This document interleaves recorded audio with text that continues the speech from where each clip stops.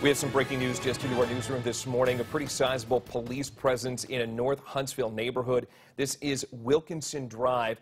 This is near the intersection of Crane Drive, about a half mile to the east of Meridian Street. WAAY 31's Will Robinson Smith has arrived on the scene within the past few minutes. Will, walk us through what you're seeing.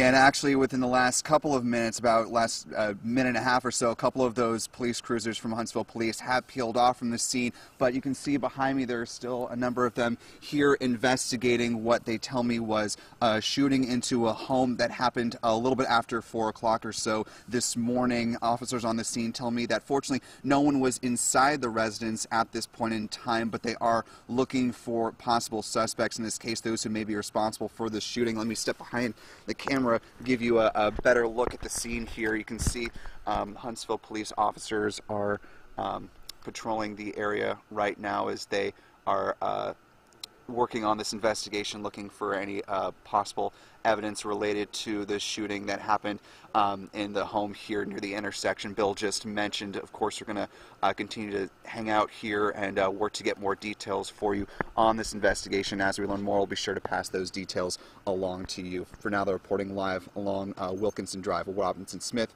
WAAY 31 News.